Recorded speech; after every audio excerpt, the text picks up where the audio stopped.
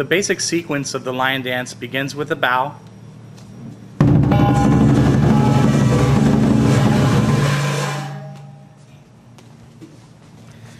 And then begins dancing.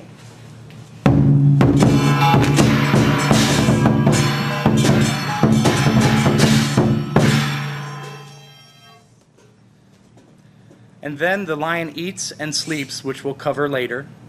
And throughout the performance, the lion is led by the Buddha.